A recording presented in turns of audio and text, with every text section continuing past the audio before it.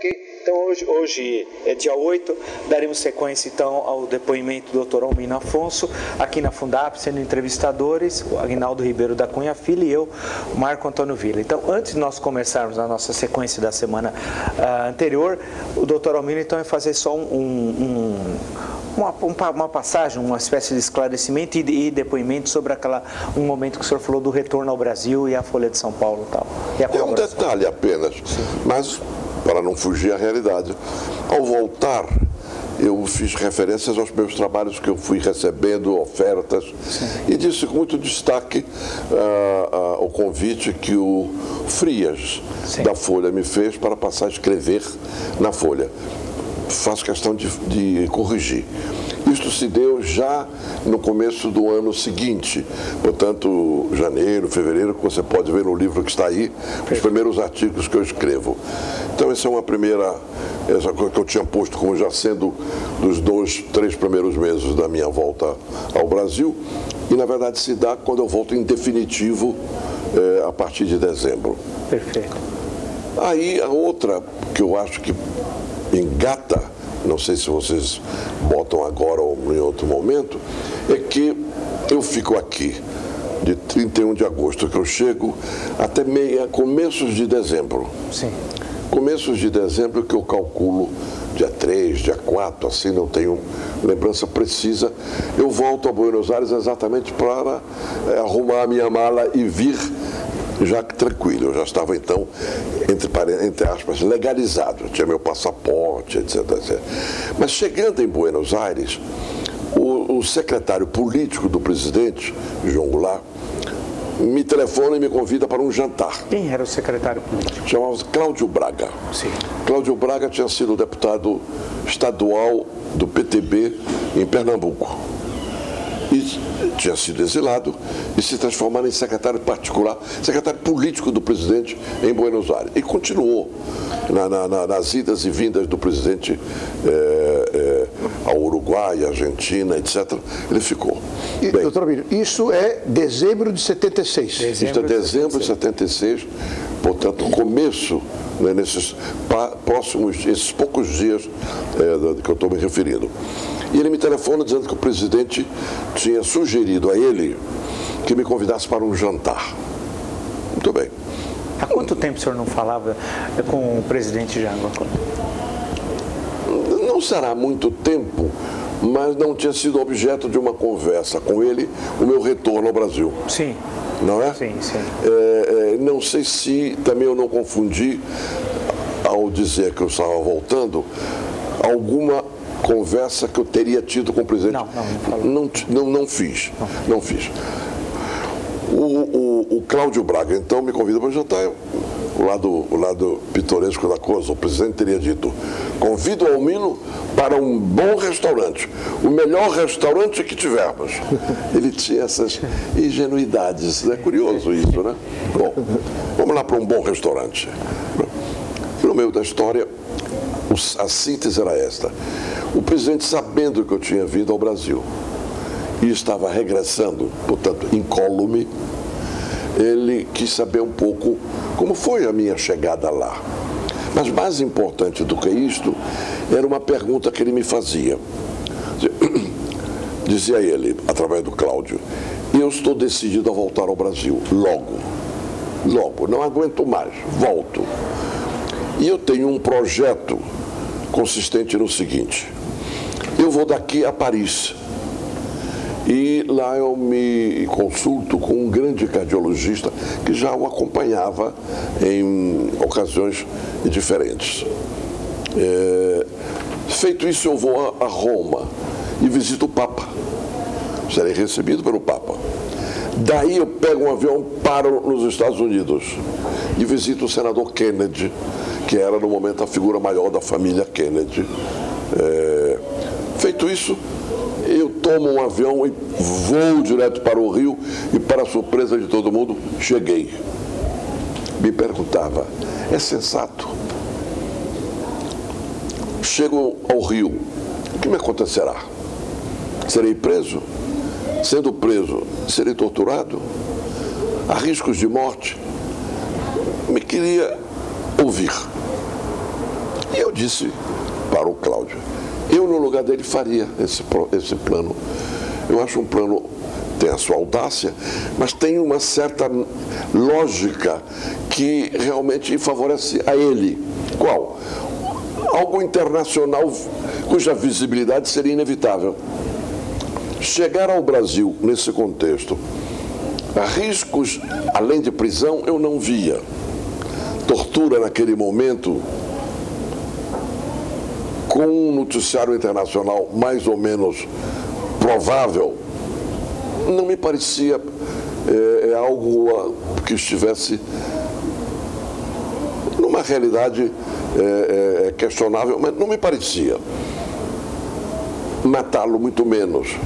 Eu dizia, a única coisa que pode acontecer são os militares colocarem o senhor no outro avião e devolverem para o exílio. Mas isso será tão escandaloso também perante o, o, o, o plano internacional, depois de tantos anos de exílio e de absoluta ausência do presidente comandando alguma reação militar, armada, nenhuma, que eu não vejo. Então, o Cláudio levou para ele este meu. Não era bem um recado, essa minha opinião. Pois bem, isto se dá provavelmente no dia 5. Portanto, eu devo ter chegado em Buenos Aires dia 4. Dia 5 à noite, o Cláudio Braga já teria viajado para Montevidéu onde iria no dia seguinte encontrar-se com o presidente Mercedes, que era ali ao lado, na Argentina. De madrugada, portanto já madrugada do dia 6, a senhora do Cláudio me telefona, me acorda, na verdade, com um telefonamento, diz, doutor Almino, quero lhe dar uma notícia triste. O senhor presidente morreu. Morreu? morreu. Suicidou-se? Não. O que tudo indica foi um infarte. Mas que coisa terrível. É, é, eu estou lhe telefonando a pedido do Cláudio, porque eu estou indo para lá, dizia ela, amanhã cedo, às nove da manhã, etc. Eu estou indo para Uruguaiana. É, se o senhor quiser, eu tomo as providências de comprar a passagem e vamos juntos eu já estava legalizado, eu já estava com passaporte. Então, agora eu entro e saio do Brasil de passaporte. E fui. Fui. Chegamos em Uruguaiana, eu e ela, e aí encontramos o Cláudio, que estava em Uruguaiana, que é na fronteira, portanto, com a Argentina, bem ao lado da chamada Ponte de los Libres, uma coisa assim. E ali ficamos. Quando vem vindo depois de algum tempo, pela manhã, é, é, o féreto é, do presidente. Não é? Ela, o caixão à frente, numa, e ela logo em seguida num carro. Ela e alguém que eu não sei, uma acompanhante. Antes tinha havido um problema, porque tinha ficado evidente que o governo brasileiro proibia que o, que o corpo do presidente entrasse em território nacional. Proibia. Não podia. E eu não me lembro que autoridade era, mas que é quem, quem representava ou quem falava em nome do governo federal. Eu fui a ele e interpelei. Como podem impedir que o cidadão brasileiro morto entre território nacional? Exigiram que eu me apresentasse para ter autoridade de estar falando. Se não tenho por que me apresentar, quem é o senhor para dizer que não pode entrar? Se o senhor se explicar por que não pode entrar, eu me apresento. Essa história ficou tumultuado ficou tumultuado. Houve um instante que um sujeito lá, o senhor desse jeito está é, se expondo a ser preso. Eu digo, sou um cidadão legal, aquele é o passaporte, não é? Não há por que me tocarem. Foi um diálogo assim. Aí vem vindo o, o, o féretro e atravessando a ponte, portanto já em Uruguaiana, portanto tinham já consentido que entrasse, com a condição de não o levarem a Porto Alegre, ou seja, que a solenidade do enterro não se desse em Porto Alegre.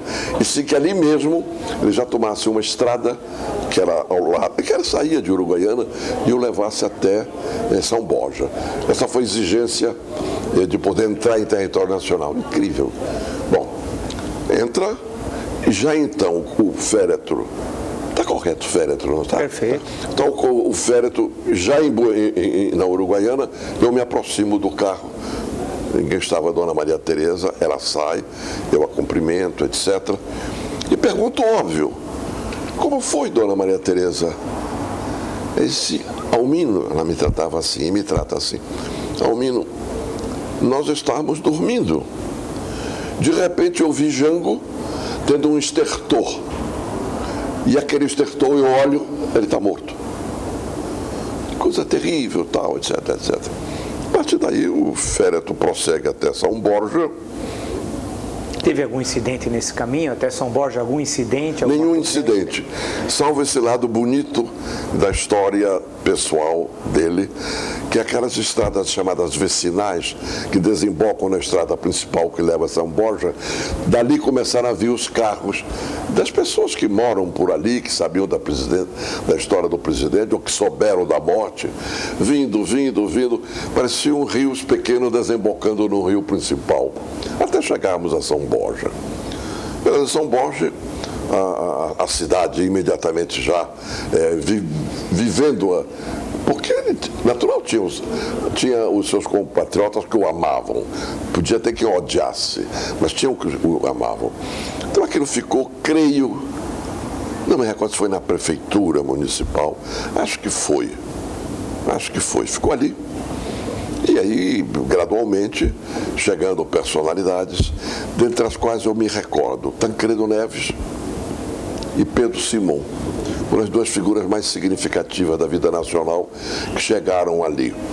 Gradualmente chegaram algumas lideranças trabalhistas. Me lembro de Dutel de Andrade, que era até então líder do PTB na Câmara. Valdir Pires, que tinha vindo da Bahia, não, do Rio, já acompanhando o filho do presidente, que tinha conseguido chegar de Londres, João Vicente, veio na companhia do, do, do, do Valdir. Uma da outra filha, Denise, tinha chegado. Então foram cenas muito dolorosas ver aqueles dois filhos abraçarem o caixão fechado, não é? Muito doloroso. Uma cena triste, muito triste. Mas mais doloroso foi num certo instante, como é que eu diria, do, do, da noite, atravessando a noite, é doloroso o que eu vou dizer, começando a ter um mau cheiro. Sim. Não é? No, o corpo não havia sido embalsamado, ou não havia condições ali para ter sido feito. Então foi necessário tirar o caixão, tirar o cadáver e levá-lo para é, é, asepsias, não sei que nome dá. Embalsamamento? Não, não, tinha como embalsamar, mas você retirando o que já estava deteriorado e mais de que, não sei que, que forma. Mas o simples fato de de repente eu ver o presidente da República, uma liderança nacional, questionado e adorado, de repente morto, e exposto a essa deterioração, me foi uma lição de vida muito forte. Como ele estava vestido? Já então com terno comum e corrente que lhe vestiram, gravata, etc. Nada mais que isso. E a família não foi impedida de entrar? Não houve restrição à dona Maria Tereza e aos filhos? Não, não houve. Não houve. Não houve. Não houve. Estavam todos ali naquele, fe... naquele como é que chama? Velório. Estavam ali naquele velório. Eu sou filosofo para dizer que, de repente, eu percebi realmente o óbvio, não é? Que somos nada, né? Sim. A vida se esvai, seja presidente, não seja presidente, e não é tão agradável o que resulta da morte que vai levando o corpo a esvair-se. Não é agradável. E o, o senhor se encontrou com o Tancredo Neves depois de muitos anos. Muitos anos. Né? 12 anos, provavelmente. É. É, o senhor chegou aqui, o senhor lembra as palavras que... Não, as palavras dele comigo não. Aquilo tudo era muito Claro. eu diria para todos que estávamos ali, muito amargo. Sim. Muito amargo. O presidente, no meu caso, sabendo que ele estava rigorosamente pretendendo voltar, e está ali já morto um dia depois de me mandar me dizer que estava de volta eh, programada, era muito doloroso. Eu lembro do discurso dele no, no- no- ao, ao pé do túmulo, não é? Na hora da- do enterro. Porque dois discursos naquele dia foram marcantes. Talvez alguém de lá de São Borja mesmo, mas os dois discursos marcantes são do Tancredo, não é? E do Pedro Simão, que era deputado estadual, sem ainda renome nacional. E o curioso, um dado, é que a 50 metros do, onde estava sendo enterrado o presidente, estava o túmulo do Getúlio Vargas. Não mais do que 50 metros. Não é? Um túmulo extremamente modesto do Getúlio. E o túmulo do Jango acabou sendo também extremamente modesto. Eu fico também pensando, que curiosa esta marca do gaúcho, não é? De poder apesar de ter ou não ter poder, riqueza ou não riqueza, ter uma vida simples. É a impressão que me causou. Perfeito. Poxa, bela descrição. Toromino, saltando, indo para 1986, né? nós tínhamos comentado na última vez a questão da derrota do PMDB, o seu candidato Fernando Henrique Cardoso à prefeitura, em 1985. Aí entrou o ano de 86, colocava a questão da sucessão do Franco Montoro. Ah, já estávamos vivendo aí veio o plano cruzado, duas vagas para o Senado, que seria renovado o Senado com duas vagas, o PMDB com as diferentes composições, e o senhor, eh, como é que o senhor estava se posicionando nesse momento para a sucessão estadual, a questão do Senado, naquela conjuntura política eh, do plano cruzado, em que o PMDB estava muito forte? Você disse que o, o Fernando Henrique era candidato a prefeito. Em 85, foi derrotado na eleição de 1985 para o Jânio Quadros. é. Né? Ah, que eu disse até que eu poderia ter sido candidato Isso, a isso. prefeito, Prefeito. E, o, e a- atendi o apelo do próprio, próprio Montoro. do próprio Montoro tal. Aí ah, acaba, o Jânio acaba vencendo, ah, aí veio, começa o ano de 86, eh, vem o plano cruzado no final de fevereiro, fica uma conjuntura muito favorável ao, ao PMDB, ah, e o PMDB aqui, regional aqui de São Paulo, já estava pensando na sucessão do Franco Montoro, quem seria o candidato, pensando nas vagas do Senado, que eram duas, e tinha sido convocada a Assembleia Nacional Constituinte. Portanto, o Fernando era senador. Era senador em exercício. Ele tinha assumido a vaga do Franco Montoro É, é em verdade, 1983, que ele era Aí vem a sucessão a sucessão. do Montoro, não é Isso. Eu acho que eu cheguei a falar um pouco. Não. Não. Não. Falou. Se essa sucessão do Montoro transforma-se em candidato o Quercia. O Quercia. Mas é verdade. Ele, Ele vira um candidato natural. Ele era um candidato natural Era. para ser vice. Pela história anterior. Pela história Porque, na verdade, ele tinha disputado ser um candidato quando o Montoro terminou sendo. Sim. né? Isso deu a ele um certo trânsito político, não inevitável, mas tinha sua significação. E nesse instante que você faz essa pergunta, ele se transforma no candidato natural.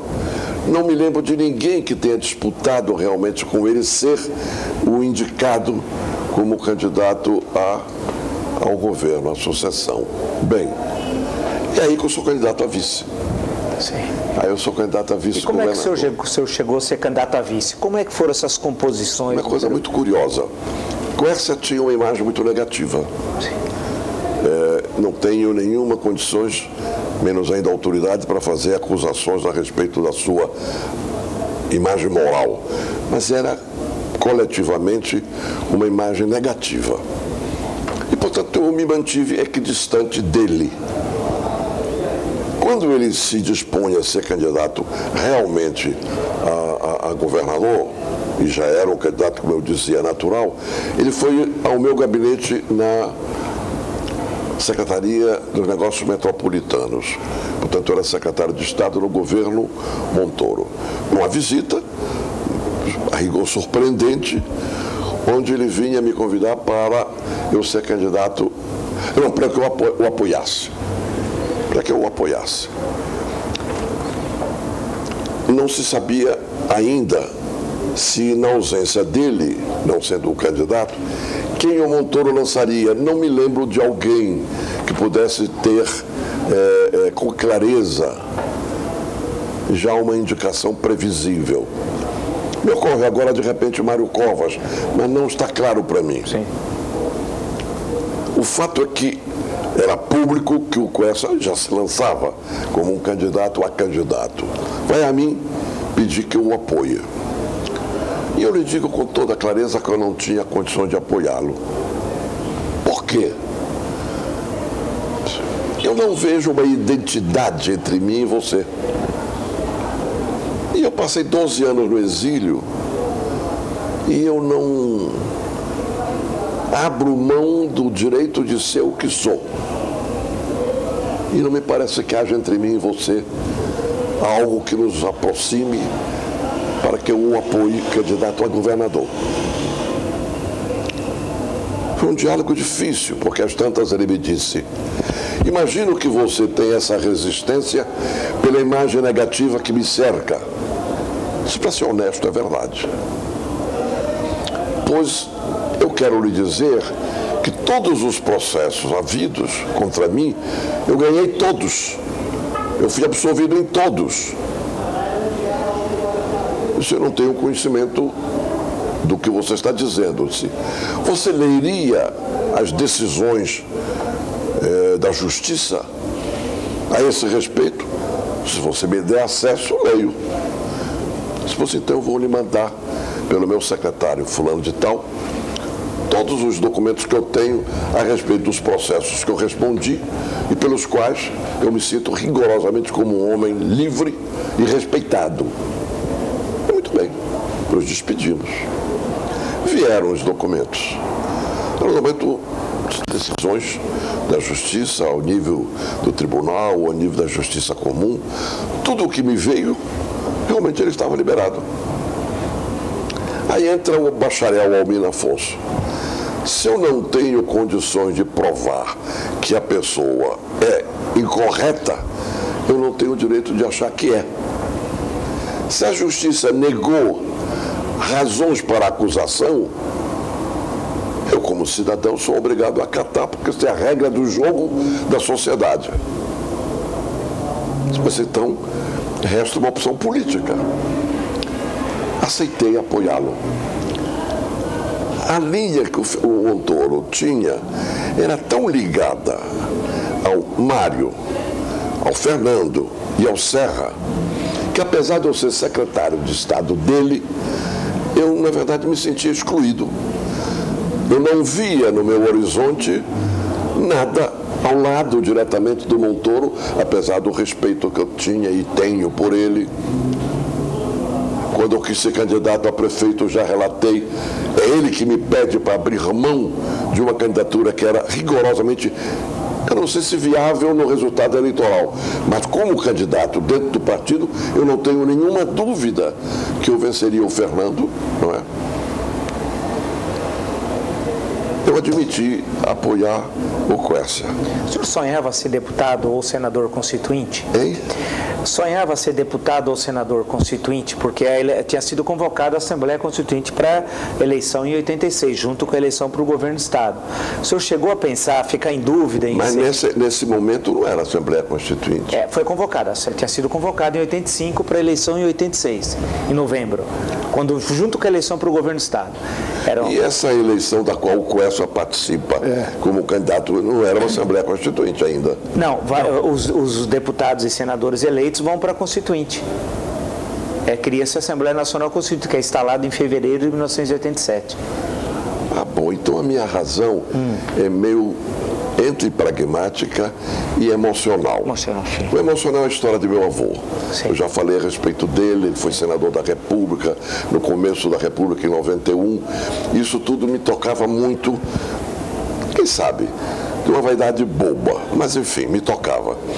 E a outra, concretamente, que eu achava que candidato a deputado estadual tem uma estrutura montada no Estado que não é improvisada. Não é improvisada. E eu tinha vindo de um exílio de 12 anos, não é? Sem nenhuma estrutura propriamente montada, não é? é e eu já tinha perdido uma eleição, não é verdade? Não já? Em 82. Já. De Senado. Para o Senado. Já tinha perdido. E o Senado continuava na minha cabeça com uma grande aspiração. Bom, ele, aceito se você me der o seu apoio, restrito a candidato ao Senado. Está fechado. Mas anote, você me dá o apoio, primeiro para que a legenda me venha, e segundo, você me apoia. Fechado. Começa, portanto, a nossa campanha, ou o nosso acordo eu era presidente do partido, Sim. não é?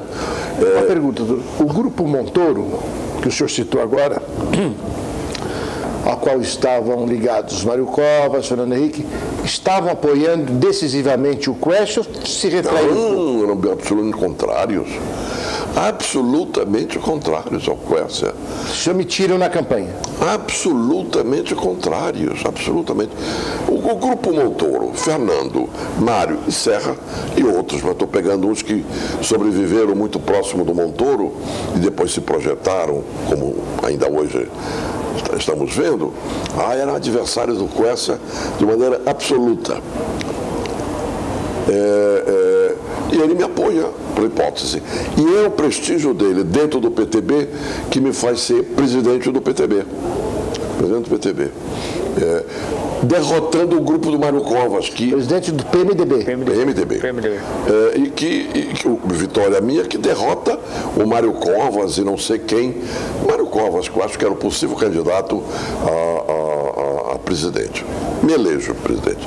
Ao me eleger, por um excesso de pudor que eu tenho, renuncio à minha posição de secretário de Estado. Eu achava que eu sendo presidente do partido. E eu tinha comigo já o compromisso de jogar na campanha, na organização, na estrutura, na montagem da possível candidatura do Quercia, como eu podia ser secretário de Estado, que eu sabia que não era exatamente é, a preferência do, do Montoro achei que era uma questão ética, dizer, não posso estar. Renunciei à minha condição de secretário de Estado e fui exercer a minha função que foi um período muito bom para mim, eu diria. Tenho muito orgulho daquele período meu como presidente do partido. Não é? É, movimentei muito o partido, montei um enorme pavilhão no, no, nos fundos do, do, da casa onde era a sede do partido um pavilhão que comportava 900 pessoas. Ali eu promovia a reunião dos negros, das mulheres, eh, dos jovens, dos sindicalistas, cada qual em seu momento. Foi um período muito vivo de participação social e eu tenho a vaidade de achar, de achar que eu influí muito, porque criei as condições para que essas reuniões pudessem se dar.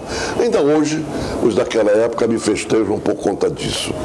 Eu acho justo, me perdoe a vaidade. Bem, vem a campanha, vem a candidatura é, do, do, do, do, do, do Quércia e vem aí a oposição radical. Fernando, Mário, para dar dois exemplos, Montoro com as reservas de governador, mas também radicalmente contrário. É, é, é o possível candidato ao Senado, que era inevitável que eu fosse indicado pelo peso que o, que o Coessa tinha na estrutura do partido. Porque Fernando não sabia fazer isso. Não era o estilo do Fernando sair organizando o partido. O Mário tinha alguma coisa, mas não era. Quem era realmente o articulador do partido pelo interior afora era o, era o Quércia. Era o Quércia. Muito bem. Então eu não tenho dúvida que a minha vaga, eu teria. Vaga, não digo eleição. Muito bem. Mas aí é a oposição que nasce a partir daí, tão radical, a ponto do Fernando e do Mário começarem a fazer um trabalho em favor da candidatura do Antônio Hermílio de Moraes. Sim. Ao Senado. Ao Senado. Não, não ao, governo. Ao, ao, governo do Estado. Ao governo. ostensivamente, ostensivamente. Eu me lembro dos prefeitos ligados a eles, que era ostensivo, era uma rebeldia, absoluta rebeldia contrária à candidatura do Quercia e, portanto, a favor. Mas era absurdo, porque o Quercia já tinha sido é, é, é, consagrado numa convenção, ele era o candidato. Ele era o candidato não me recordo se já tinha sido consagrado na convenção. Talvez não. Porque senão talvez eu já tivesse também sido consagrado. Não, mas eu era candidato ao Senado. Vamos fez apagar. Acho que não tinha sido ainda. Bom, mas Antônio era... Hermínio já estava candidato ao governo por que partido? PTB. Quem? PTB. PTB. Para deixar registrar. É PTB. É, Exato, PTB. PTB. Quem? PTB não. Antônio Hermílio. Antônio Hermílio pelo PTB. PTB. PTB. PTB. Muito bom e apontado como o novo líder social. Sim. Que era um paradoxo, né? Mas bem. é, é, isto vai não crescendo a tal ponto que o Quercia receia que isto possa criar uma divisão de fato, independentemente de que juridicamente não tinha outra projeção, e derrotá-lo. E derrotá-lo. Vai à minha casa, o Quercia. Somino, eu estou na seguinte situação: é um impasse. Eu assumi com você o compromisso de apoiá-lo para o Senado. Não posso manter. Venho te convidar para ser candidato a vice-governador. Eu não quero ser vice-governador. O compromisso com você foi de eu ser candidato ao Senado, que é o, a, o cargo político que eu mais aspiro não era o que eu mais aspirava, mas era o que eu mais aspirava, quem sabe possível. É, isto vai no, no, numa sequência tal e, e, e, e mais ou menos, eu nesse instante sendo derrotado, você também é derrotado. E era real. Eu não tinha uma, uma, uma é, margem razoável, autônoma para enfrentar já esse quadro que eu estou narrando do, com o surgimento do Fernando, Mário, etc. E o Montoro por trás, que eles não estavam sozinhos. Não estavam sozinhos. Aí eu aceito. Aceito a vice. Por que, que era tão, como eu diria, a minha candidatura retirada e passando a ser da chapa de vice com, com essa é, candidato a governador, porque foi possível, através disso, é, harmonizar o partido. Porque Fernando e Mário estavam profundamente angustiados sobre o destino eleitoral deles, Quercia é contra. Mesmo que não fosse candidato, mas seria, teria. E, portanto, qual seria? O Fernando era tido e havido como antiquércia e era odiado pelos quercistas, odiado. O Mário menos. Ou seja, eu, candidato ao Senado, naquele instante, eu me elegeria pelo quercismo. O Fernando, com certeza, seria derrotado. A minha retirada do, da disputa para, para, para, para o Senado dava aos dois a tranquilidade de, dentro desse contexto, Fernando, Mário, Montoro, Quercia, dentro desse contexto, eles uma chance efetiva de se elegerem, Fernando e Mário. E eu estava sendo acomodado como vice, candidato a vice-governador.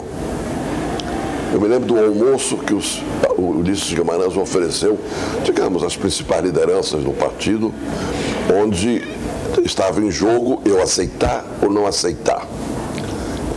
Digamos, formalizar a aceitação. Me lembro quando eu cheguei, já estavam todos os líderes. Eu fui o último a chegar e me puxa para cá, me puxa para lá, etc. Eu faço uma declaração de, como de fato, quase que deu uma de Dom Pedro, né? como é para o bem geral da nação, diga ao povo que eu fico. Enfim, algo parecido eu aceitei. Aí foi uma festa, nunca esqueço, porque Ulisses, quando não gostava de uma coisa, ele dizia com muita rudeza.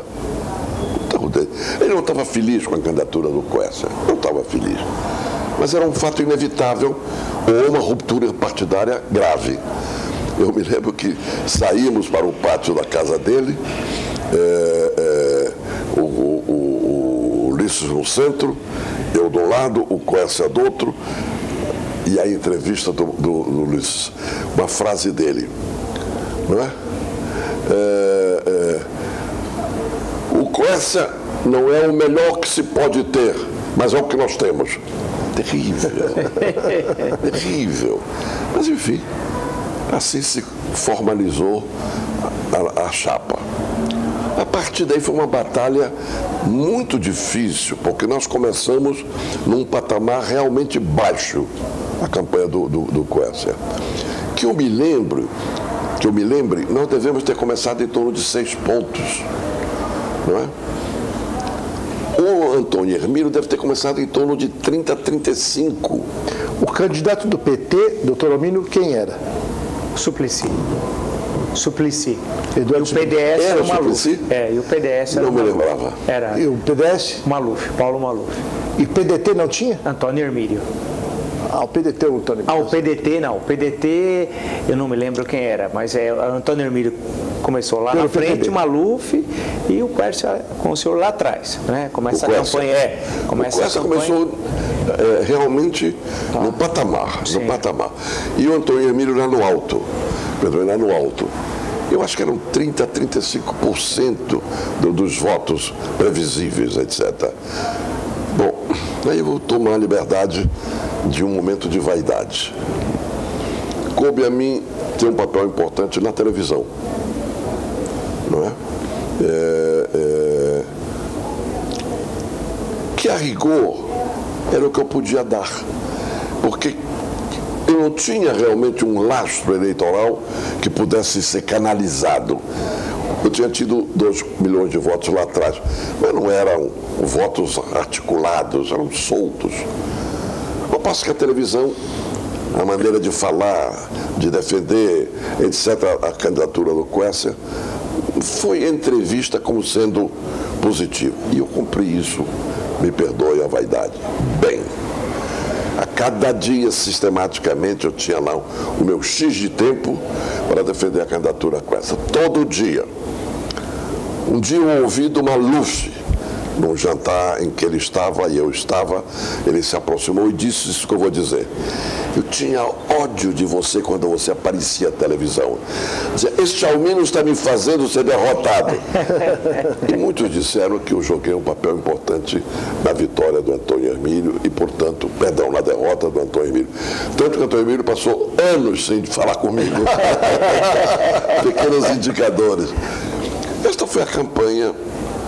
Elegemos brilhantemente, tivemos uma votação esplêndida. Sim, sim. Esplêndida, não é? O senhor mudou a sua impressão sobre o Quercia durante a campanha? Porque a campanha vai estabelecendo laços até pessoais, acho que acaba sendo estabelecido. Humanamente, sim. Sim. Ele, na relação pessoal, é uma pessoa simples, cordial, eu diria amável. Tinha o hábito de andar de violão, tocando violão e cantando. A isso eu tive que fazer uma campanha cerrada. Não, não dá. Candidato a governador de São Paulo, não é? Como violeiro, não é exatamente uma candidatura. Até que eu consegui tirar a viola é, é, como parte da, da propaganda, né? Mas é, o povo gosta. Enfim, prevaleceu um pouco minha, a minha crítica. A outra, se a pergunta é, é abrangente que você está me fazendo, eu não tinha elementos. Eu tinha os tais documentos que eu tinha lido, que eram as decisões, que prevaleciam para mim como falta de uma prova em contrário. Não tinha prova em contrário, era razoável que eu achasse que as acusações eram acusações, e como tantas, e ele foi à justiça e venceu. Após a sua indicação e aceitação ao cargo de vice-governador, as lideranças contrárias passaram a apoiar o Quércia não? Passaram, passaram. Quer dizer que a campanha, o partido caminhou. Unificou-se, unificou-se. Em termos eleitorais, unificou-se. E com uma vantagem efetiva. Fernando e Mário se elegeram. Fernando e Mário se- Foi esse esquema me retirando da disputa para o Senado, não tenho nenhuma dúvida, que deu, sobretudo ao Fernando, uma eleição que ele não teria se eu tivesse disputado. Não por mim, mas porque o coercismo, vota- o coercismo votaria em mim e nunca nele, naquela circunstância. Não é? E a partir daí com essa, claro, apelava para todos os seus companheiros marcharem juntos é, com a chapa integral. Né? Foi uma bonita campanha, uma bonita campanha. Né? Na vice-governança, não sei se isso já isso, isso que eu ia perguntar é, muito. É, é, na vice-governança, a relação foi boa de respeito recíproco.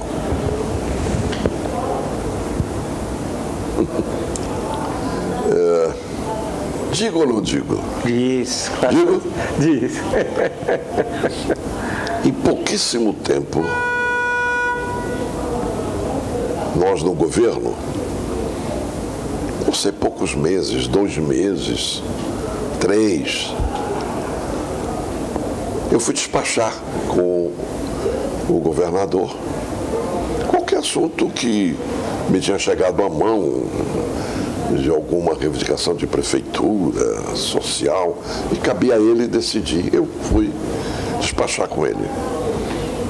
E eu encontrei muito fechado.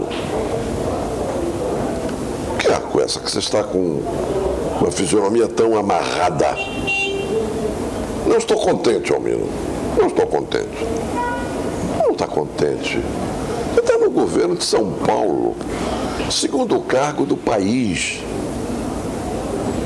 Você pode estar criando uma candidatura sua à presidência, por que não? Uma alegria. E deixou a cadeira e pôs-se a andar de um lado para o outro. Aí virou e disse: A qualquer hora você toma assento nesse lugar referidos à cadeira deles. Por quê? Você vai morrer? Se não, é que não se espante. Eu posso renunciar. Por quê? Almino, eu a vida inteira, desde a idade X, que eu trabalhei e ganhei dinheiro. Eu estou aqui há três meses e não ganho nada. Não foi uma boa imagem. Não foi uma boa imagem. Mas afora isso, a relação foi bem, foi bem. Né? O senhor, como vice-governador, tinha algum trabalho específico? Não, mas é passei a fazer muita representação, representação. dele pelo interior. É, é, havia uma resistência muito grande que vinha já contra o governo Montoro e que prosseguiu no dele dos professores. Os professores pelo estado todo tinham maus salários, os salários não foram resolvidos adequadamente no governo Montoro e o governo Coessa herda isso e também não tem condições imediatas de alterar nada. Então, pegou realmente um rabo de foguete, não é? E ele não tinha condições de ir ao interior porque os professores faziam um enterro simbólico. Eles chegavam e lá vinham com, com o, o, o, cadáver numa, no caixão, né? em todo lugar, em todo lugar. E, entretanto, nós precisávamos ir ao interior, não tínhamos como ir, como não ir. Como não era diretamente visado pela má vontade do professorado, eu passei a ser a figura que ia em lugar dele, corri muito o Estado, corri muito o Estado. Enfrentei muita é, má vontade dos professores, mas com uma liberdade de que não era o culpado, nem era o poder decisório, não é? E podia dialogar. E fiz isso. Então eu acho que foi um papel que eu cumpri no governo bastante acentuadamente. Não é? Em pouquíssimo tempo, eu acho que eu ganhei uma projeção de uma vice-liderança diferenciada. Eu não era um omisso, eu não estava no meu gabinete fechado, eu estava atuando. Meu gabinete tinha a presença de reivindicações as mais diversas o dia inteiro. Raro era o dia que eu saía antes das 11 da noite. Isso repercutiu gradualmente. E a Folha resolveu fazer uma entrevista comigo uma entrevista que eu não me lembro agora o nome do jornalista, mas era um jornalista importante na época. Vai lá me entrevistar. Uma entrevista longa.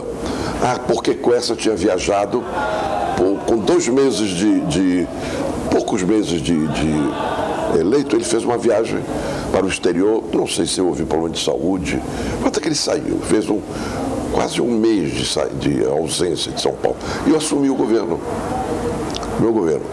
E a tal entrevista, é, é, era visível que o jornalista manifestava simpatia pela maneira como eu me expunha ou defendia as posições, etc. Então, ao término, ele disse: essa, essa entrevista merece uma fotografia com destaque. Por que não tiramos lá fora, tendo a, a imagem do palácio atrás? Não, por que não? É uma fotografia sobre algo é, é, é, normal. E fui. E o cidadão insistia em movimentos um pouco mais eh, solenes. Eu sei que por conta dessas insistências tantas, eu ali em frente do palácio, aponto o horizonte. aponto o horizonte. E essa fotografia foi publicada em colorido na primeira página da Folha. Foi um desastre um desastre. Com essa passou a odiar esse episódio, né? Porque entreviu naquilo já uma possível aspiração mais alta. Eu não tinha por que ter dúvida de que eu teria. Mas eu não tinha formalizado, né? Isso criou distâncias entre nós, quase no ponto de partida da nossa é, coexistência no governo. Deixa eu perguntar uma coisa para o senhor. Aí vai passando o ano de 87, tem a Assembleia Nacional Constituinte, que se estende, acho que foi a constituinte mais longa do mundo ocidental, foi até o ano seguinte. Aí vai entrando o ano de 88 e o PMDB nacional, e com as com a, especialmente com a liderança do Mário Covas tal, na Constituinte, vai se afastando do Sarney, até o momento que dentro do próprio partido há um racha. Né? E em 88 vai, vão sair o Mário Covas, Fernando Henrique, Franco Montoro, que eram pessoas com quais, nas quais o senhor tinha relação antiga, né? algumas vezes desde os anos 50 e tal. E o senhor acaba ficando no PMDB no governo do Quercia, do qual o senhor também não tinha nenhuma proximidade política com os Quercis, com as, algumas lideranças interioranas que tinham uma forma de fazer política que não era do senhor. O senhor tinha uma longa história, tal, que eles não tinham, tal, e nem o governador tinha na época. Como é que foi esse momento quando o senhor está vendo o PMDB rachando, surgindo o PSDB, ah, o senhor qual a razão que o senhor acabou ficando no PMDB? Foi a possibilidade de ser candidato à sucessão do Quercia? Foi a questão da prefeitura, que afinal tem uma de 88, como foram eleitos? Como é que o senhor estava vendo aquilo, toda aquela fratura ali? Primeiro, em termos puramente de disputas eleitorais, eu não tinha alternativa. Sim. Eu, como vice-governador, não podia ser candidato a, a, a, ao Senado, perdão, ao deputado de deputação constituinte. Eu não podia salvo que renunciasse é, o, o, cargo. E era um pouco é, é, deixar o certo pelo duvidoso, não é? Embora me fascinasse muito a ideia da, da, da, da Assembleia Constituinte, mais uma vez por influência de meu avô, que foi deputado constituinte lá, em 1890, não é? é tendo um papel de muito destaque, não sei se eu já disse a você, também, sobretudo com a, aquela proposição dele da relação igualitária, né? Dos, todos são iguais, etc. A, a representação das minorias, minorias. Né? que é uma grande conquista nossa, que vem de lá. Então, apesar disso, era um fato muito objetivo. Eu teria que renunciar à vice-governança. Muito bem, esse é um lado. A segunda, não era tão certo que eu não, não teria o apoio do Quércia. Porque num certo instante, quando eu começo a correr o interior, o problema todo é o tempo que isso vai se dando, porque é difícil eu, eu, eu precisar. Mas ao longo de um tempo X, quando eu começo realmente a ganhar pelo interior a imagem, enfim, de um possível sucessor, que eu ganhei cedo a imagem de um possível sucessor pelo interior, não é? é, é eu fui ao Quércia. Isso ao Quércia eu quero dizer a você lealmente que eu pretendo disputar a sua associação. Não é, havia naquela época direito à, reeleição, logo eu não estava é, questionando nenhum direito dele, não é verdade? Isso nenhum problema, homem, não. Nenhum problema. Não posso te dar o apoio agora. Mas se o partido te apoiar, você terá meu apoio. Isso é tudo quanto eu quero. E aí passei a trabalhar o partido, trabalhar o partido. E cheguei a ter, fato que é bem mais distante comprovável, 73% dos diretórios do partido a meu favor, como candidato a candidato. Isso me dava uma tranquilidade de que eu teria o apoio do Quessa. Primeiro porque eu não tinha atrito com ele. Segundo, porque isso, isso que eu estou dizendo é, tinha sido mais ou menos amarrado por esse diálogo que eu acabo de referir-me. É, isso explica, então, o que parece uma, uma, uma inércia minha. Havia uma lógica no que eu estou te dizendo. Em relação é, é, a, ao surgimento do PSDB, que também se dá. É incrível como essa foi um divisor de águas nesse estado, um divisor de águas negativo. Me entristece dizer, mas é verdade. Por exemplo, nesse episódio, por que nasce o PSDB? Foi uma. Não tenho nenhuma dúvida que era o antiquércia que, na verdade, gerou é, o, o, PSDB. O PSDB foi São Paulo. O resto depois é, expande-se pelo, pelo resto do país. Mas a ideia do surgimento de um partido alternativo que não fosse o PMDB é Montoro, é Fernando, é Mário. Serra era menor na época, mas Serra. Ulisses. Hein? Ulisses. Ulisses não, Ulisses era PSD. Estava no PMDB, presidente do Nacional. O, o Ulisses era PSD. Então, o PMDB, não é? é, é cria uma, uma, uma costela à parte, que é o PSDB, por essas figuras de São Paulo. E qual a razão ideológica se vocês pegaram o texto, se o ideológico é o programa, o programa do PMDB na época era muito bom. era muito bom. Aliás, de um modo geral, os programas são bons. A prática é que não é. Né? Então, vou pegar, pega o programa do PSDB na época, pega o programa do. O PSDB nasce com uma tintura é, é de social-democracia, sem nada consistente, sem nada consistente. O essencial, eu não tenho dúvida a esse respeito, foi o antiquércia. O que o antiquércia? O quércia era o símbolo, segundo eles, da corrupção. Essa era a imagem de, que eles tinham a respeito do Quessa. O senhor teve, viu algo no governo, que o senhor estava lá no palácio, o senhor viu algo que poderia justificar essa fama? Não tenho nada. Não tenho rigorosamente nada. Num certo instante eu tive um diálogo quando ele me nega o apoio à, à, à minha candidatura ao governo, será oportuno eu dizer duas ou três coisas sobre isso que, vou, que você acaba de perguntar-me. Nesse instante eu quero dizer a minha posição frente ao surgimento do, do, do, tá. do PSB, PSDB. Achei um absurdo. Chegou um absurdo total. O senhor foi convidado a entrar? Não fui convidado a entrar, para isso se conversa. Não deixa de ser curioso. Nunca me explicaram por que não me convidaram para entrar nesse conjunto de ilustres figuras. Talvez por ser vice-governador. Por que ser vice-governador? O que, que é que impedia, não é? Porque tinha posições políticas opostas? Não. Eu tinha uma posição de vanguarda mais do que eles. Se a posição era de vanguarda, me perdoe a vaidade. Eu tinha uma posição de vanguarda definida, que vinha da minha juventude, que passava pela minha, pela minha vida eh, no, no parlamento, Ministério do Trabalho. Não, essa eles podiam ter, mas mais que eu, nenhum deles tinha.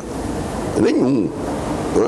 Fernando podia considerar-se um marxista lá, para sua doutrina pessoal, mas como prática política, não. Não. Então isso não podia ser uma objeção. Eu vou dizer algo que sempre me ocorreu. Receio está sendo injusto.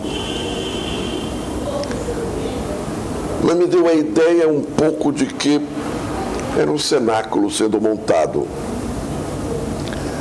E não há lugar para muitos no cenáculo. Você já tinha a figura mais do que de primeiro plano, que era o Montoro. Tinha duas figuras em ascensão, Mário e Fernando. Tinha uma terceira figura em ascensão à espera, na antessala, que era o Serra. Põe mais um para encontrar espaço equivalente, já que não me agradaria ficar também numa antessala. É meio pobre o que eu estou dizendo, meio de alma ferida, que na época me feriu. Por que não? Me, me proponho, vamos discutir, não é? Me demonstre o porquê. Não houve. Muito bem. Eu fiz um texto que eu posso deixar para ir para, para os apêndices. Fiz um texto dirigido ao PMDB do país, do país, me opondo é, ao surgimento do PSDB. E me opondo demonstrando por A mais B a, a, a, proposição que o PMDB tem basta e sobra para uma resposta aos problemas sociais. Vamos transformar isso em realidade na nossa luta, porque criar algo que implica é, num, num, num fracionamento da grande legenda, do grande, como é que eu chamava? É, é, oi meu Deus, quando você envolve várias. ah, eu queria dizer não é fórum, está me escapando a palavra. Ou seja, ali o PMDB era uma, a grande reunião social, não é reunião a palavra. Você que tem a, a sua riqueza. Enfim, está claro o que eu quero sim, dizer. Sim, claro. O grande núcleo articulador da, da, da, dos vários grupos sociais. Era das várias posições políticas que vinham vindo ainda meio esfaceladas da, da, a partir do golpe, etc. Por que fracionar isto? Todos nós sabíamos que o PMDB tinha uma presença em matéria de diretórios pelo país inteiro. Ulisses costumava dizer: pode-se ir por aí e até uma cancela tem, a, a, a, tem aí a, como é que eu diria, a sede do partido. Até numa cancela de, de uma fazenda, vocês encontram a, a, a sede do PMDB. E era verdade. Ainda é. O partido ainda é hoje um grande partido em matéria de prefeituras pelo país inteiro. Ainda hoje, apesar desse partido esfacelado, pequeno, humilhado, ainda é. Naquela época era demais. Eu dizer nesse meu texto, como é que nós vamos abrir mão desse potencial extraordinário em nome do quê? Há algumas divergências neste ou naquele ponto, nós vamos à Assembleia, vamos às convenções partidárias, vamos renovar-nos. Fiz esse apelo nacional. Publiquei, eu tenho meus folhetos, vou dar a vocês. Não adiantou. Não adiantou. Mandei as principais figuras que estavam parindo o PSDB. Inútil. Inútil. Aí fiz uma campanha aberta o quanto pude contra o nascimento do PSDB. Não é? E uma delas, eu dizia com muito sabor e para muita irritação dos meus ilustres amigos tucanos. Né? Eu tinha sabido, acho que comentei com vocês, de um gesto de Zé Bonifácio, quando se deu, enfim, é, a montagem é, do Império, não é? com Dom Pedro I, tinha que fazer-lhe é, a vestimenta adequada, imperial. Né? E tem uma gola, que eu não me recordo o nome exato como chamava, não me lembro, uma gola tradicional na, na, nas vestimentas dos imperadores, etc, etc. Eu não sei se foi o próprio Zé Bonifácio ou alguém por ele, o fato é que acharam que aquela coisa devia ser amarela por conta da composição das flores lá. Ah, não esqueço que a bandeira do, do, do, do Império já era verde e amarela. Sim. Bom, pois José Bonifácio manda por uma, uma decisão dele de caçarem tucanos e tirar a penugem amarela para compor essa, esse babado. e o babado do, da roupa do Pedro I, eu tenho o diabo desse decreto, não é um decreto, é uma resolução do Zé Bonifácio para vestir a, a roupagem de Dom Pedro. Eu pegava isso, e você pode imaginar, a minha ida, já que eles eram tucanos, um partido que nasce já com a traição, a vida dos pássaros, que autoridade tem? Mas perdi, falei sozinho, perdi. O que mais você falou? Aí agora começa o ano de 89 e está no horizonte, está no horizonte é a questão da eleição presidencial. Né? É, depois de 29 anos tal. E como é que o senhor estava vendo esse, esse momento? Ao mesmo tempo tem a questão do governo do Estado em 1990, né, da sucessão do Quércio. Tem a candidatura Ulisses Guimarães, do PMDB. A, a sucessão do Quércio, estou eu nela, quer dizer, estou eu na, tá ali, na, tá na, na, batalha, digamos. Na batalha. É. Ulisses questionado como candidato do PMDB a presidente. Alguns dizendo, olha, passou o momento, não é o momento. Tal. Alguns dizendo que o Quércio seria um bom candidato, né, pressionando o Quércio a renunciar e ser candidato. Isso, nesse universo, como é que o senhor estava Bem, posicionando? Pelo lugar, dado real. O PMDB nacional queria Quércia. Queria Quércia. Tranquilamente queria Quércia.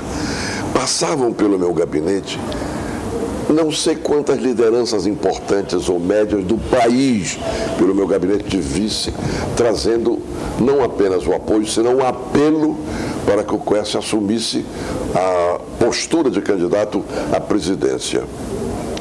Eu acho que ele teria sido um candidato com chance. Claro que eu digo acho, antes de ver o episódio real, que foi o. o, o, o como é que chama ele? Collor. O Fernando Collor. O Collor. Essas coisas a gente não sabe o que amanhã vai acontecer. Eu achava, num certo instante, que isto era, Collor não existia até então nesse lapso.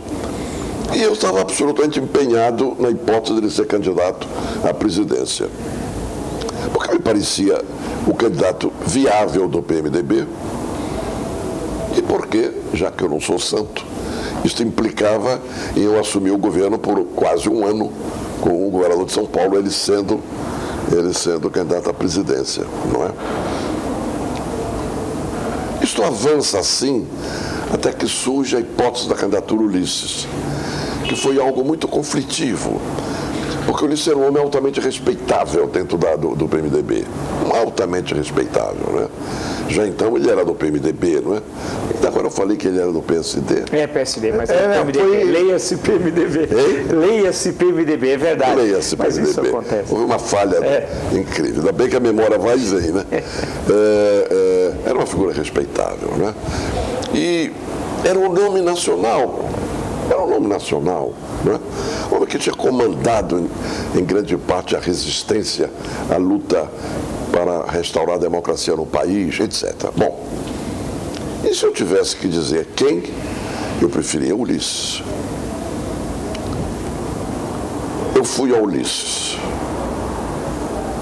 e coloquei, eu o chamava de presidente. Presidente, eu estou numa situação muito difícil, porque Há uma candidatura que vai crescendo, que é em torno do nome do Quércia, e vejo que há setores importantes que querem a sua candidatura. Eu gostaria de ouvir uma posição sua clara para minha, tomada de posição, presidente. Meu caro, eu tenho o apoio do governador. Muitas vezes o governador já me disse e me estimula a que eu formalize a minha candidatura. Não vejo, portanto, que a presença de algumas figuras que achem que é o nome dele o melhor para nós disputarmos a eleição, que me iniba. Primeiro porque eu tenho apoios significativos dentro do partido. E se tem o apoio do governador, por que devo rever? Senão, presidente, não estou lhe propondo que reveja. Estou só querendo saber se o senhor de fato é sou candidato. Com apoio do Quest. E não era. E não era continuava a duplicidade. De um lado, a candidatura do Ulisses dentro do partido crescendo, e do outro, o Quércia, que na verdade não era, mas recebia eh, os louvores e, a, e, a, e, as, e as convocações com indisfaçável alegria. Isto avança até um momento extremo, já próximo, portanto, à convenção, quando o Quércia,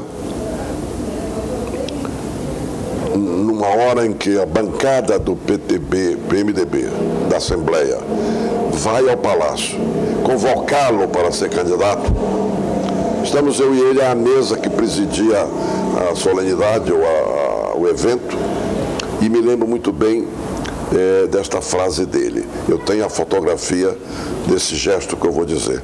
Ele está com a mão aqui no peito, inclina-se sobre mim e diz: Mas alguma coisa me diz que eu não deva ser candidato. Ele era uma figura meio, como eu diria, é, com visões paranormais ou inclinações paranormais. Dizia-se que fazia consultas frequentes, não sei se é verdade. Mas esta frase não deixa de ser curiosa. Alguma coisa me diz que eu não devo ser candidato à presidência. Bom. É... Mesmo assim, vai avançando a hipótese da candidatura dele, com um crescendo de nomes expressivos. Me lembro bem do Pedro Simão, que defendia a candidatura do, do, do Ulisses, do Gereissati, que era uma figura do, do Ceará já, com significação política, defendia a candidatura do Ulisses, e vários outros, e vários outros. Do Quércia, né? Hein? Do Quércia, o Gereissati... Já agora ah, do, do Ulisses. Do Ulisses, ah, tá. tá já agora do... Não, perdão, do Quércia, do Quércia, assim como o Não, Pedro do Quércia, do Quércia. Bom, então, num certo instante, ele, ele, nós estamos nas vésperas da convenção nacional do partido. Ele me chama. João Mino, se eu for candidato à presidência, que. Como era a história?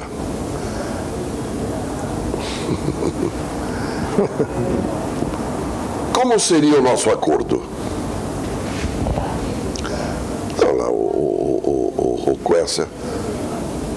Você sabe que eu sou homem leal.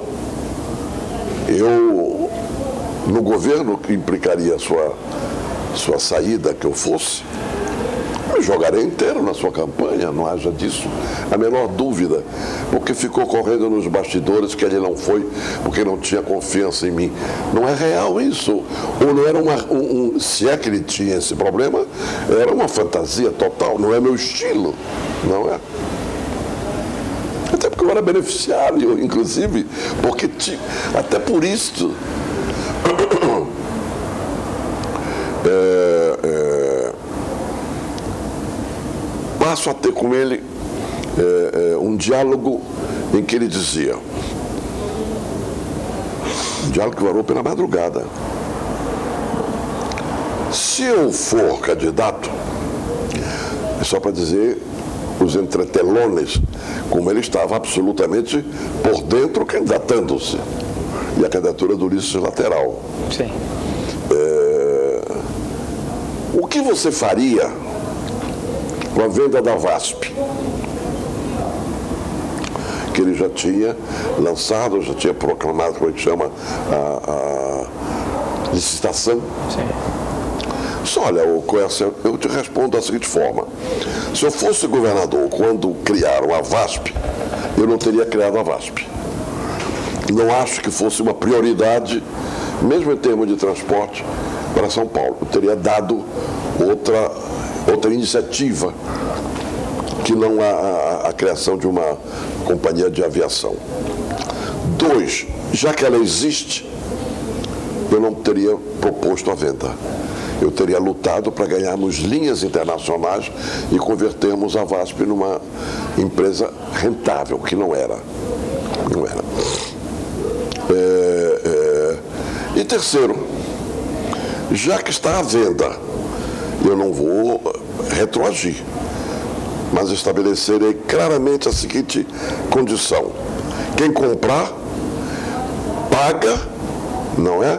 E responde pelos, pelo, pelos débitos da empresa, não é? Além de pagar, responde pelos Isso, isso é evidente, isso é evidente. Não temos discussão nenhuma a respeito de algo que está em marcha. Nenhum. Foi o único momento de uma conversa Sim. que podia sugerir algo, não é verdade? Sim.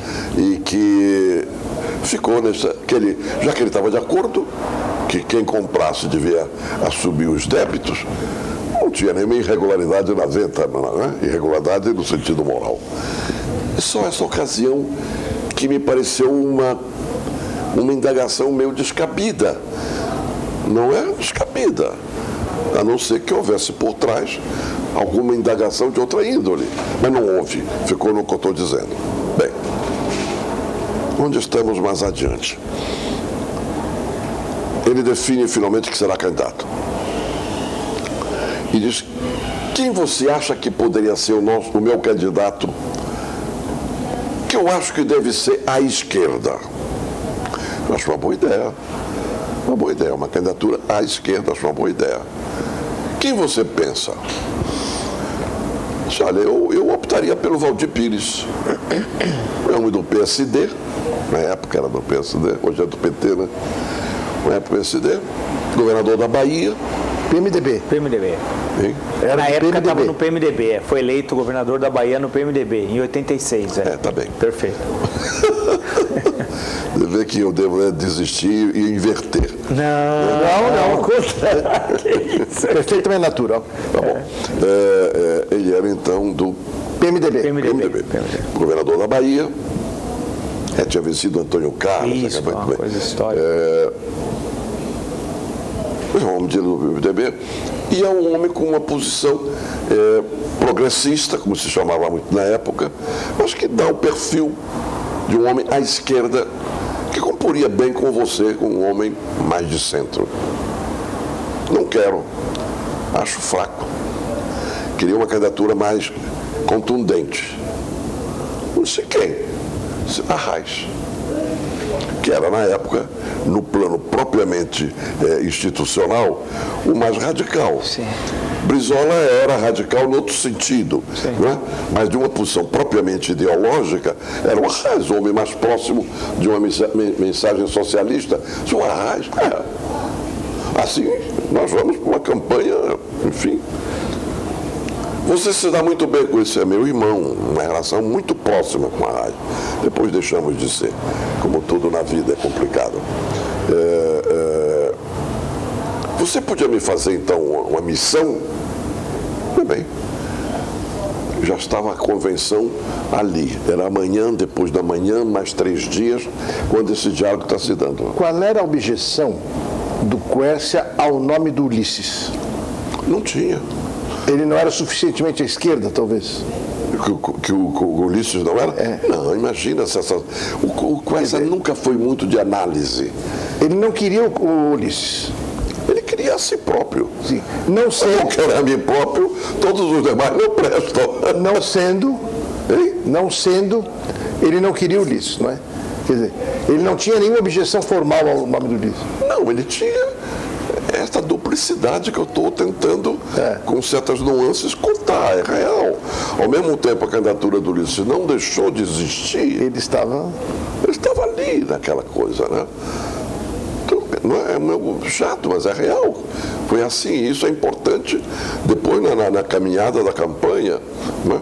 É, é, então ele me pedia para ganhar o apoio do, do, do, do Arras para candidato a vice dele. Põe aí dois dias antes da convenção. Portanto, estava em cima. Veja como é tudo curioso, né? Lá fui eu para Brasília. Telefono para a Arras, a Arras vai para Brasília. atravessamos uma tarde ou um dia, sei lá, o, o, o, o Arras naquele tempo tomava umas e outras mais do que devia. e era o uísque. Eu tomava um pouco para acompanhar, mas ele seguia. Feita a proposta, ele analisa daqui, analisa dali, analisa da lá e aceita. Aceitou. Arraes aceitou ser candidato a vice-presidente na chapa com Quercia, na chapa que haveria, se houvesse, do Quercia. Bom, eu telefono para ele. Vitória, o homem aceita ser seu companheiro de chapa. É. Você acha que é, é hora da minha decisão? Conversei depois de amanhã o, o, com essa.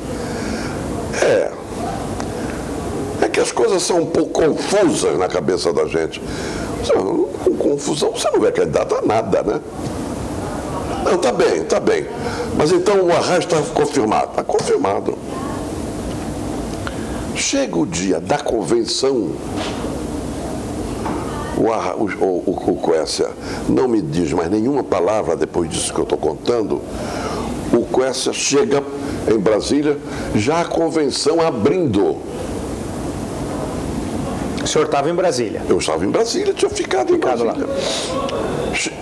É, é, vão ao aeroporto buscar o Quércia, as principais lideranças do PMDB. Pedro, Gereissati, eh, Pedro, aquele Henrique, Luiz Henrique, Luiz Henrique, Luiz Henrique enfim, figuras nacionais do PSDB, do PMDB. PMDB. E o, e o, e o Quércia, na cara deles ali, disse, eu não aceito ser candidato. Não aceito. Foi um espanto geral quando um lugar-tenente dele, chamemos assim, veio a mim e disse, Albino, o Costa não é candidato. disse, mas não pode. Está tudo doido. Bom, que não foi candidato, nós sabemos. Que o candidato foi o, o, o, o Ulisses com a vice com, do Valdir Pires, Sim. que renunciou o governo do Estado para ser vice com Ulisses. Isso foi como os fatos se deram. Conversa minha com Quercia agora, alguns meses atrás, numa hora que ele estava de conversas até de reaproximação comigo, essas coisas assim. Bom, aí eu peguei essa, é uma coisa que eu nunca entendi. Né? Aquele teu gesto assim, assim, assim, assim. É que não foi bem ali, Almino, inventam. Eu tive um encontro naquele dia com as principais lideranças do partido, presente Ulisses e a senhora do Ulisses, Dona Moura. E ali tinha ficado assentado que alguém deles faria diretamente a Ulisses a revelação. Nosso candidato preferencial, doutor Ulisses é o Quercia. Porque cabia a mim dizer ao Ulisses que ele não deveria ser, seria eu? Eu podia fazer isso? Então ficou assentado, eu não me lembro quem é, é, é, ele me disse que teria ficado com a responsabilidade de fazer esse tipo de, de é, é, eu diria checkmate, né? Fizeram a reunião e a conversa corre para cá, corre para lá e ninguém faz a declaração ao Ulisses. ninguém. Almino, ninguém. Eu ali, eu era o tal candidato, segundo, porque nessa história toda já eram partidários da candidatura dele, nos bastidores. Eu era o candidato, segundo eles todos me diziam, e nenhum fazia o que nós tínhamos combinado. Diz para mim, Almino, era eu que tinha que me levantar e dizer, doutor Ulisses, eu vou para a campanha e enfrento o senhor na convenção. Claro, eu não podia fazer isso, supondo a verdade dessa narrativa. Mas isso é totalmente oposto. Mas é falso. A verdade é essa que eu estou dizendo agora. Eu isso ouvi agora, há alguns meses atrás. Qual foi a verdade dos fatos? Não sei. Eu me inclino a achar que a, verdade tenha sido esta segunda. Eu me inclino. Porque estava tão amarrado ele ser, tão amarrado já com a candidatura, inclusive, prevista do, do, do, do Arraes, não é? Que só num nível de loucura justificaria esse não como eu narrei, que foi o que me contaram no dia. Resto vocês conhecem. Ulisses sai de candidato, Ulisses sai de candidato e o Quécia não lhe dá apoio. O Quécia passou um mês viajando, quando o começo, quando a candidatura do Ulisses tinha recém começado, e o governador era eu. Quem lançou a candidatura do Quest, do, do Ulisses em São Paulo, em São José dos Campos, fui eu. Fui eu. Quem ofereceu um jantar para as principais lideranças do país, em São Paulo, fui eu. Mas eu era o vice-governador. Eu não tinha um lastro eleitoral que justificasse eu cumprir esse papel, salvo a ausência do governador. Fiz a campanha do Ulisses, onde pude. Quécia cruzou os braços. E aí foi aquela derrota fragorosa que o pobre do Ulisses sofreu, não é verdade? E uma derrota que teve uma significação muito ruim para a vida do partido, eu acho. Não é? é quando surge o, o colo, etc. Sim. Consegui deixar claro. Ótimo, ficou, ficou muito claro, foi excelente. Não, tá, tá perfeito. É... Perfeito eu não digo. Não, não, mas. Mas é... vocês podem dizer. É... Mas qual das duas é a verdade? É. Eu dou a vocês as fontes, né? Sim. Uma eu estou dizendo que eu ouvi do Coessa agora. Agora, perfeito. Faz poucos meses, dois, três meses, sei lá. A outra eu vi no dia, no calor. Eu não vi dele isso. Sim. Mas dizem que foi assim no aeroporto. Ou terá havido dois instantes, não é? Sim. No aeroporto, isso é que eu estou dizendo, e ele exigir. Então façamos uma reunião e vocês digam diretamente ao Ulisses na minha frente. Pode ter sido, são nuances. Sim. Não sei. Perfeito. O fato é que ele não, é, não virou candidato. Vamos fazer um intervalo então? Vamos fazer um intervalo? Podemos fazer um intervalinho? Vamos lá, né? Nós estamos com a derrota do Dr. Ulisses na eleição presidencial, vitória de Fernando Collor, numa eleição muito disputada, né, especialmente no segundo turno.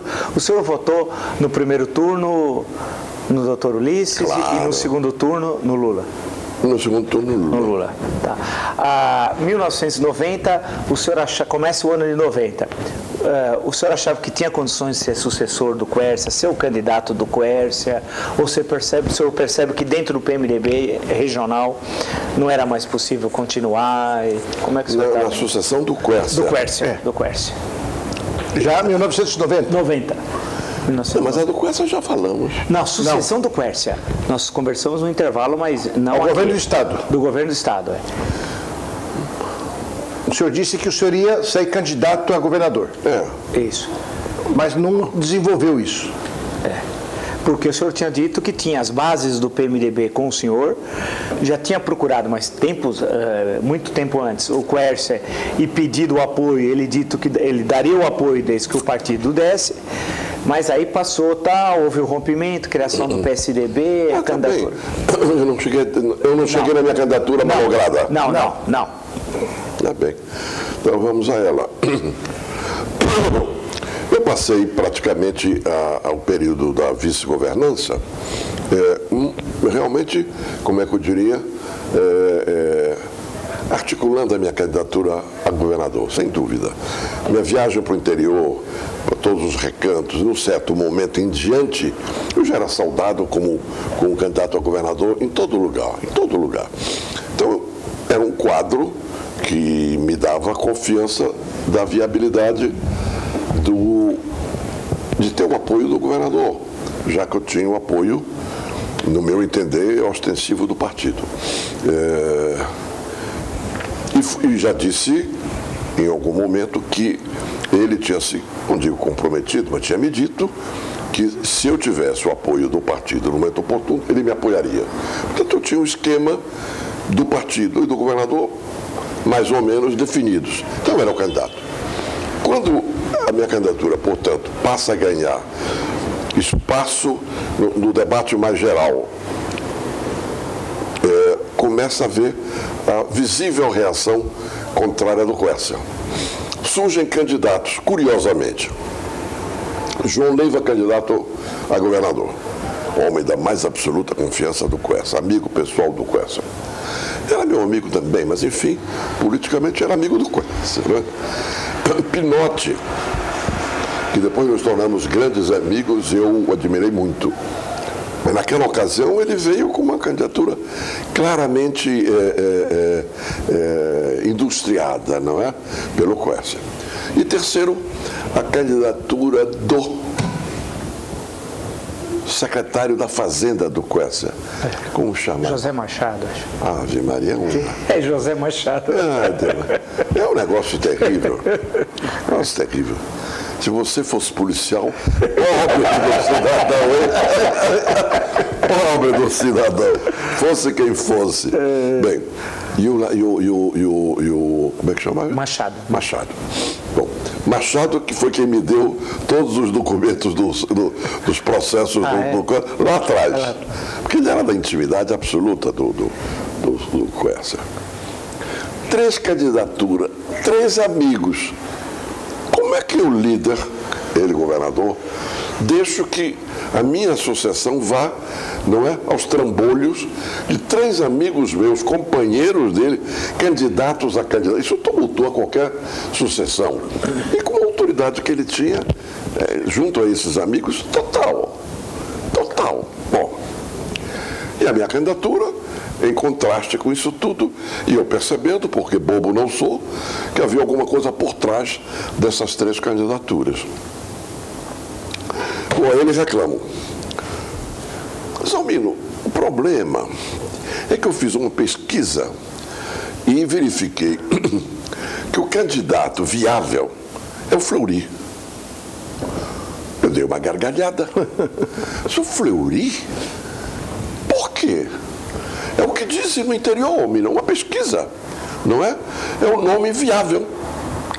Você não deixa de ser curioso, um sujeito absolutamente anódino, que é chamado no interior de Zé Bundão, possa ser candidato a governador nesse improviso todo, alguma coisa está errada na tua pesquisa.